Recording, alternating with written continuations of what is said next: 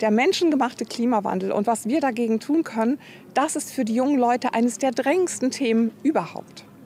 Wie drängend es ist, das zeigen seit Jahren auch die Protestaktionen der Fridays for Future. Immer wieder setzen sie sich ein für ein konsequenteres Eintreten gegen die Klimakrise und für eine sichere Zukunft aller.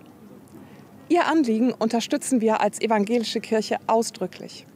Denn die immer deutlicher werdenden, gravierenden Folgen des fortschreitenden Klimawandels machen deutlich, unser Leben inmitten allen Lebens auf dieser Erde, inmitten Gottes guter Schöpfung, es ist verwundbar, es ist verletzlich und gefährdet.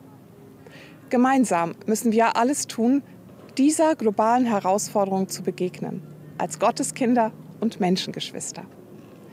Der Ruf zur Umkehr ist angesichts unseres deutlich zu langsamen Handelns in Politik und Gesellschaft mehr als berechtigt.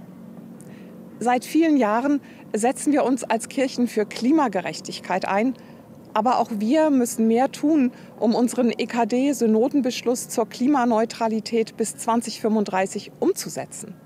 Als Churches for Future wollen wir für die Bewahrung der Schöpfung sowie die Rechte der Menschen im globalen Süden und der künftigen Generationen eintreten. Die Zeit zu handeln ist jetzt. Deshalb rufen wir dazu auf, am Klimastreiktag am 15. September teilzunehmen und sich auch dort in weltweiter ökumenischer Verbundenheit für mehr Klimaschutz, für Klimagerechtigkeit und für das Einhalten des 1,5 Grad Zieles einzusetzen.